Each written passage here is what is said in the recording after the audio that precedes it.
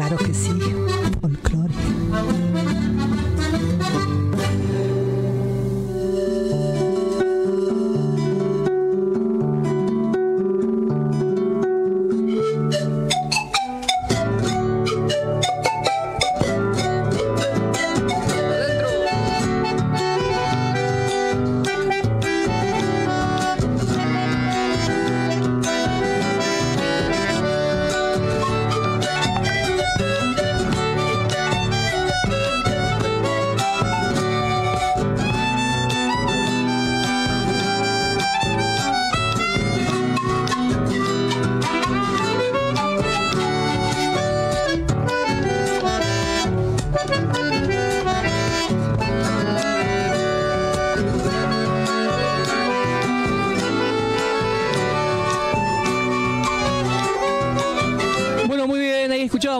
Colonia Durán, ¿eh? Javier Acevedo, qué acordeón, por favor, impresionante, che. Este, uy, mira, está eh, el profe Damián Arce escuchando, qué grande, profe, le mando un abrazo. Este, acá me está mandando un mensajito. Profesor de guaraní, Damián Arce. Un día, no, un día podríamos conversar con Damián Arce, que tiene una cultura, no saben lo que esos profesores que te podés. Es como el profe Víctor Lescano, como el profe Dauría, profesores que hay que tenerlos ahí al lado, a mano, ¿viste? Cuando vos para charlar con ellos, ¿viste? A ver si aprendemos alguna vez. Para algo. aprender, justo Para- te iba. No quería interrumpir, pero para aprender. Claro, para aprender. Este, bueno, escuchábamos Colonia Durán, ahí el acordeón de Javier Acevedo. Creo que lo tenemos en línea. Muy buenos días, Javier. Marcelo te habla. Buen día, Marcelo, ¿cómo estás? ¿Qué tal? ¿Cómo andas, Javi? Muy bien, che, qué, qué gusto hablar con, con vos y bueno, y salir al aire ahí al, al programa y bueno, gracias, gracias por, por compartir y por nada, por esta comunicación. Bueno, recién escuchábamos Colonia Durán. Tenemos algunos temas para escuchar este. Ajá. Y creo que ya escuchamos también antes eh, hoy algún tema más. No me acuerdo qué otro. Eh, ah, no, íbamos a escuchar el de Feliciano Brunelli. Bueno, tenemos algunos temas tuyos para escuchar el día de hoy. Este, es un gusto grande para mí No, poder por hacerte favor, esta, entrevista, a pesar de que este, apenas ayer nomás estuvimos charlando y este y, y bueno, compartiendo un poquito de esto que nos gusta, que es el acordeón. Totalmente, totalmente. Bueno, lo, mismo, es mutuo. La verdad que el agrado de, de que bueno, de que tengamos esta comunicación y charlemos un poquito también es, es muy gratificante para mí. Bueno, este, ¿tenés mm, proyectos solistas, proyectos en grupo? Sí, Este, bueno, bueno, ahora esto que, que pasaban, que es Colonia Durán, es parte de, de un disco que grabé ya hace unos años, que pueden encontrar en plataformas digitales. eh, que bueno, que sí, que lo grabé pues, solo acordeón con invitados. Y, y además tengo un, tengo un proyecto que se llama Atardeciendo Amaneceres. también, Lo que- nombramos, sí, sí, lo nombramos. Claro, bueno, que también es un proyecto que tiene ya tres años, dos años y piquito, sí, para tres. Y bueno, que lo llevamos ahí adelante, ahora un poco, un poco detenido con esta desgracia que estamos viviendo, pero, pero igual seguimos haciendo cosas. Y lo que hacemos es música litoral eh, y un poco el propósito es componer nuestras canciones y bueno. eh, es un poco eso y, también pueden encontrar todo el material en, las redes y en las plataformas. Más que nada Spotify, ¿no? El otro día vos sé que hablaba con un compañero de trabajo, eh, hablábamos de la, de la realidad este, de los soportes ¿no? de, de la música. Este, Sí. Hablamos de que el CD, por ejemplo, ya las computadoras no vienen con, con lectora de CD, los, Sí, autos- no, no, no, los estéreos de los autos tampoco. Dejó de existir el, el- los estilos de los autos. eso te está- Claro, y, y bueno, lo que se está usando ahora es, es, eh, bueno, vamos a nombrarlo, es una marca, pero Spotify, este, se escucha música por Spotify, se hace una lista de reproducción Totalmente. y por Bluetooth lo escuchás en el auto, por ejemplo, o en tu casa. Este, Javier Acevedo y Atardeciendo Amaneceres también están en, en, este, en estas Así plataformas, es. ¿no? Así es, Marcelo, así es. Ahí estamos. Qué a. Bueno, acá en el estudio están María Ángel y Juan Manuel, mis compañeros, este, por ahí te quieren preguntar o te saludar. Sí, claro, bueno, sí, sí, claramente le, le- les extiendo mi saludo a ellos y bueno, repito, un placer estar ahí eh, en esta comunicación. Bueno, justo hoy, eh, perdón María Ángel, lo mencionaba eh, Marcelo de tu participación ahí en el G20, en el Teatro Colón. ¿Cómo fue esa Sí. experiencia vivida en primera persona? Nada, terrible. Imagínate que, que más allá de la experiencia, eh, más allá de la experiencia, mejor dicho, eh, más allá de, de- o de ocupar ese lugar, haciéndolo eh, en defensa, de, no sé si en defensa, pero, pero sí representando a, a una música nuestra. Y, eso es como lo más fuerte, digamos. Eh, representar el, la música que queremos mucho y representando, bueno, eso, básicamente es eso, tocando un chamamé, eh, la verdad que es una experiencia hermosa, hermosa ah. y muy súper gratificante, muy satisfactoria. Javi, a- aparte de la puesta en escena que fue buenísima, ¿no? Porque eh, él entra, si lo buscan en, en, en YouTube debe estar el video. Él entra en una, como en una canoa, ¿no? Sí, sí. Parado con el acordeón tocando. Y a, y a opinión de muchos fue el punto más alto de la gala, digamos, fue el, el- Sí, sí, sí, sí, se dijo eso, se dijo eso, pero nada, fue la verdad que fue una, fue una gala terrible, eh, la verdad que muy muy lindo y, y han hecho un trabajo todo terrible, terrible. Súper federal además. eh, eh, Súper federal, sí, eh, tal cual. sí, porque lo- los lo- no sé, tenías bailarines desde de salteños, chaqueños, formoseños, del sur, tenía, tenías de todos lados y eso también está bueno, que, que, que hubo participantes de todos lados. Tal cual. Eh, has sido alumno de del gran Pedro Montenegro, de Pedrito Montenegro. Sí, así es, así Este, es. Desde contá- los siete contanos un años, poquito tu- tu desde los siete años hasta los sí, 17, eh, 14, ponerle una cosa así. Eh, sí, fui, fui a parar ahí, mirá, eh, aún me acuerdo, me acuerdo cómo fue, yo quise tocar acordeón desde chiquito, siempre yo tenía un tío que tocaba, no profesionalmente, en la provincia de Corrientes, en, en- ahí en, en un pueblito cerca de Yapeyú, a 10 kilómetros. Mira, vos tenés, Entonces- fa- tenés familia por ahí. Claro, sí, entonces eh, como que las vacaciones era, era un poco ir ahí y entonces, claro, yo veía a este, a este tío tocar acordeón y se me daba por, por también querer hacerlo, yo tenía seis años. Y bueno, a los siete, a, a los siete años aprendí a mi, mi primer este, chamamé, eh, La Laguna Totora, y entonces cuando llegué, nada, obviamente mi mamá eh, después me dice, che, ¿realmente querés tocar? Busqueme un profe. Y vos sabés que, bueno, un día escuchando así un programa de radio también, eh, yo, eh, yo soy de, mm, yo nací en Tigre, y, bueno, eh, vivimos siempre en Pacheco, ¿no? Entonces, digo, nada, escuchábamos la radio y mi mamá escucha entonces la publicidad que, hacían en la radio de Pedro, que, que daba clase de acordeón, aún me acuerdo el número, mirá, 47260053. Así que se comunicó y arranqué inmediatamente. Sí, sí, a los 7 años hasta los 14, no sé. 13, por ejemplo. Qué linda edad, ¿no? Porque, bueno, ahí uno está con, con todo el horizonte por delante y tenés una perspectiva tremenda, ¿no? Tocando a esa edad. Lo que tiene, lo, lo que yo veo a esa edad es que aprendés jugando, ¿entendés? O sea, co- como que esto es un juego Y lo incorporás. y terminé incorporando y termina siendo nada, tan natural que es parte ya de uno. Y pero es eso, es eso, aprendés jugando. Lo que, eh, son edades en las que se aprende jugando. Uno no, no, no es consciente de lo que está haciendo. Aprendes jugando, básicamente. Eh, te- ¿Tenés hijos, Javi, no? Tengo una niña, sí, una niña que se llama Valentina, que de hecho el, el álbum se llama Valentina por ella. Claro, sí. Te- Justo te iba a preguntar eso. Este, ¿Y tiene, tiene así este, vocación de, de- para hacer música o tiene, tiene ese...? Y tiene cuatro años y no para de bailar. Mirá. Y le, le- y le gusta cantar, sí. Pero bueno, qué sé yo, viste. Seguramente sí, porque porque en casa se escucha y, y se mama toda toda la cuest- varios géneros musicales y, y sí, y, y nos gusta a todos. y Entonces, qué sé yo, quizás no profesionalmente o sí, uno no se sabe. Pero sí, sí, sí se le se comparte mucha música con ella, sí. Sí, sí, sí. Y le gusta mirar videos y todo, toda la cuestión, así que está, está ahí muy a full con eso. Y es lo más lindo que nos puede llegar a pasar, ¿no? Que uno de nuestros hijos por ahí este haga camino en lo que uno este alguna vez lo ilusionó.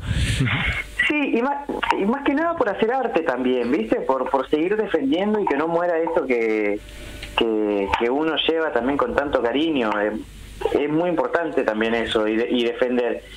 Eh, a veces yo no digo que no, yo no digo que no que el argentino no sea así, pero pero sí, eh, no sé, a veces siento que, que no se defiende tanto y que no tiene tanto lugar eh, la música regional como debería tenerlo.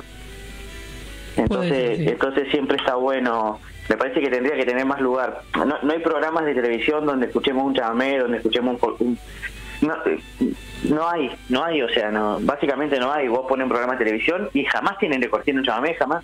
Es Sí. solo por una ocasión especial, pero nada. Eh, de, de repente te vas a Brasil y, y todos conocen su música. El del norte conoce la del sur, aunque no la consuma, pero la conoce.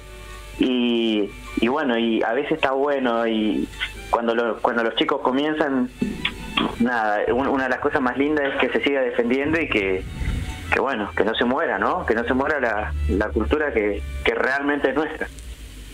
Tal cual. Y, y los medios de comunicación tenemos una responsabilidad, ¿no? Una responsabilidad de- sobre lo que estamos poniendo al aire. Este, Obviamente. se- y, y desde también desde los estamentos, de los estamentos, digamos, culturales eh, de los municipios, eh, a nivel nacional también, provincial, porque muchas veces también se fogonea mucho, no sé, el hip hop, la salsa. Freestyle. El freestyle, ahora, ¿viste? Y, y- Claro. y el Que folclore, folclore pasa a ser como el folclore pasa a ser como algo, este, ¿cómo es que se dice? Eh, cuando no no es muy Anticuado. Sí. Anticuado para lo que es, disculpen que me meta. Alternativo, Soy María. Ángel, eh, perdón, que ¿Cómo justo estaba acá escuchando la conversación y cuando se trata de danza no me puedo quedar callada, este, porque yo también estuve del otro lado, eh, fuera del folclore, hasta los 22 años aproximadamente. Cuando entré al mundo de la danza folclórica me di cuenta que es un todo un universo que estaría bueno que la gente conozca. Porque Exactamente. eh, yo creía antes, por eso no juzgo a nadie, y Pe- yo... pe- es que, perdón, no Sí. se trata de juzgar, ¿eh? Simplemente se trata de conocer. Claro, exactamente, es la falta por- de conocimiento. Exactamente, porque está buenísimo. De hecho, a ver, eh, llevando, te corto un segundito, Sí, hago un sí. aquí, porque llevándolo a lo musical. No hay nada mejor, que, que no hay nada mejor, realmente lo digo, por, por experiencia también, que, que el músico argentino eh, escuche música extranjera y escuche de absolutamente de todo, porque lo que va a hacer eso es enriquecer justamente Totalmente, el conocimiento. concuerdo. O sea que está buenísimo. Lo, lo que a veces no está bueno es que no se escuche lo nuestro en, en- en los medios, justamente que hablamos. Pero después está buenísimo, me encanta la idea. Tal cual, sí, sí, sí. Este, hay que exteriorizar hacia el, primero hacia el resto de los argentinos, porque si, si somos sinceros, el mundo que conoce nuestras danzas, cuando alguien va y presenta nuestra danza, la gente eh, de otros países les gusta mucho el Pero folclore. les encanta, les encanta. Entonces eh, falta más que la gente conozca, realmente hace falta más bailarlo, bailarlo desde, de- desde la propia piel. No es lo mismo ver bailar a alguien que bailar uno mismo. Claro, mira, bueno, eh, eh, eh, cito esto porque es algo que se habló cuando comenzamos la nota, lo del G20. Eh, cuando se nos llamé, Merkel, o sea, Merkel y, y- y todos estaban, eh, ¿cómo se llama? Estaban parados aplaudiendo eh, justamente el- este que sonaba un chamamé y estaban veías a, a- ya te digo a, a estos líderes que políticamente pueden gustarte o no digo porque no es que yo tenga ese problema pero hay gente que por ahí tiene algún pre- prejuicio no, político totalmente. entonces por eso lo remarco pero estaban de pie bailando un chamamé entonces voy a decir claro eh, no solamente lo valoran más sino que se sienten identificados porque es cierto también que venimos de ahí no Es o verdad. sea que, que el acordeón es un, un instrumento que proviene de Alemania entonces Tal cual. digo, es raro que, que por ahí acá no se sepa tanto y que a veces uno los ve bailar a ellos y vos decís, qué raro esto, ¿no? Merkel aplaudiendo un chamamé. Y es que se siente identificado, o sea, Tal y, y- y- además eso de eso de valorar lo ajeno también, ¿no? Es como eh, se van a, a otro lugar a, y valoran la música nuestra, por ejemplo. Tal cual. Sí, sí, sí, por supuesto. Eh, de hecho, nuestra, nuestro folclore, creo yo, según lo que leí y, y me informé, eh, es un rejunte de otras danzas que lo, nosotros lo apropiamos y lo hicimos nuestro. Ah, mira, no lo sabía. Sí, sí, eh, hay muchas danzas que vienen de, de España. Claro. Este, y, y se, nosotros lo tomamos y le dimos nuestra forma, pero originalmente viene de otro lado. Claro, Sí, sí, por eso, por eso está buenísimo escuchar y, y adquirir de todo justamente para enriquecer lo propio, básicamente. Totalmente. Pero, así que siempre está bueno, pero lo que por ahí no está bueno es que se deje de lado lo nuestro. Claro. Eh, es que es, es dar a conocer. Y yo tengo una Yo consulta. creo que sí. I- igual, déjame, déjame, Sí. usted- podemos cerrar el tema con esto, pero Sí. que también soy consciente y veo mucho que últimamente se está defendiendo y los jóvenes están yendo mucho más por el folclore que antes. Yo creo que estamos en un momento en los que se está defendiendo mucho más. Es verdad. Mucho es verdad, más, sí, sí, sí. Mucho más. Sí, el hecho de que hayan eh, cosas... Hay gente que le gusta mucho el folclore tradicional, eh, que, que, que es estático y que no se cambia. Pero el que agarra el folclore y mm, Sí, sí, quiere hacerlo más atractivo, como por ejemplo los de Malevo, que estuvieron de gira en Japón y en muchas Sí. partes del mundo, también llevan eh, lo nuestro un poco decorado, pero sigue siendo nuestro. Sí, sí, claro. A ver, eh, eh, se trata, bueno, ahí eh, se, se trata de, de ayornarlo también, ¿no? Porque es cierto que también uno vive en el 2021, entonces uno no, ni vos podés seguir bailando como en el 52, ni Tal yo cual. puedo seguir haciendo la música que se hacía en el, en el 62, porque el tiempo cambió, Es verdad. ¿entendés? O sea, un- un- una pareja ya no se conquista mirándose a los ojos y tirando un cabezazo como era antes. Es- eso es distinto. Es cierto. Entonces, este, o sea, obviamente uno se tiene que lo tiene que ayornar, Tal cual, tiene que ir adaptándolo. pero lo, lo que hace justamente atractivo es que y, y también en- interesante esa búsqueda de ir acomodándolo a los tiempos en los que se viven, ¿no? Por supuesto. Y yo te hago una consultita a vos como músico. Sí. Cuando tocas, ¿te gusta ver la gente bailar o te gusta sentir eh, y te interiorizás o te exteriorizás al tocar el acordeón? No, me pasa, me pasa, me parece que van de la mano. Las dos cosas. Y sí, di- disfruto que, la- que a la gente le guste. Está buenísimo. ¿entendés? Disfruto que a la gente le guste. Y, pero bueno, sí, básica, básicamente, eh, primero conecto con lo que estoy haciendo. Eh, uno tiene que bailar, uno tiene que cantar, uno tiene que hacer arte porque le gusta. Después si le gusta lo demás, está buenísimo, bienvenido. O sea que primero, primero conecto conmigo. Si disfruta el otro, buenísimo. Tal cual. Muy bueno. Es así. Es verdad eso. Uno tiene que poder disfrutar para que el otro sienta esa energía también. Bueno, Javi, ¿tenés eh, pensado en estos días hacer algo? O sea, ¿te, te sumás también a esta, a esta modernidad, a esta novedad de hacer streaming? Mira, eh, con Atardeciendo Amaneceres hicimos alguna cosa. En este, por, por el momento no tenemos pensado hacer nada. Sí teníamos algunas fechas que se suspendieron, pero un poco la idea es esperar que abra un poco algo. Nada, tenemos la esperanza de que eso suceda y que y retomar ahí, aunque sea tocar con como se pueda. Mm. Buenísimo. Pero ¿y no, no hiciste individualmente de streaming? No, no, no, no, lo- no lo hice, no lo hice. La verdad es que no lo hice. ¿Por, por una eh, cuestión técnica o porque no te sentís cómodo estando solito ahí? La, la verdad es que no me no me llamó mucho la atención. Quizás si esto sigue, eh, en algún momento haga algo, pero nada, prefiero esperar un poquito más y con la esperanza de que se, se pueda tocar con gente. ¿Vos vos das, da- clases de acordeón? Sí, doy clases. Doy fe, doy fe. Ahí Mar se puede dar fe de eso. Sí, sí, estoy dando clases ahora. Bueno, eso eso a vos te, te ayuda a estar en contacto con el instrumento, porque Sí, sí, obviamente, sí, sí, sí. Eh, Imagínate que, que uno no, no pierde el contacto y, y además se aprende mucho haciéndolo. Qué bueno. Bueno, agradecerte esta, esta comunicación. No, pero pará, pará, pará, pará, pará. No sé si Javi por ahí tiene. Tenemos tema para pasar de él. Tenemos, tenemos un tema muy lindo, mira, para cerrar la nota, Javi. Este, junto, mira, hablamos de, de Pedrito Montenegro, pero también este, estuviste muy ligado con Nini Flores. Este, tenemos para cerrar el- el- la nota con un tema este, junto a Nini Flores Quinteto, Sí. Fulgor de Alborada, ahí en el CCK. Pero por ahí capaz que vos tenés la- el acordeón cerca, no sé, querés teclear No, algo. no, no, vos sabés que no estoy en casa en este momento, Marce. Ah, no estoy, eh, si, no, si no, con todo gusto. No estoy en casa en este momento, sino con todo gusto, sí. Pero mira vos, bueno, la No, no, no, próxima. La próxima, la próxima hacemos. Bueno, bueno. Bueno, y, y sí, sí, ahí está, bueno, eso que nombraba de, de lo de Nini, este, eh, que también está bueno, eh, siempre siempre agradezco este la posibilidad de que se difunda eso también, así que buenísimo, gracias por eso. Porque es algo que no se grabó, es algo que solamente está en YouTube Sí, sí. y bueno, nada, quedó ahí en el camino. Bueno, acá eh, nosotros nos apropiamos.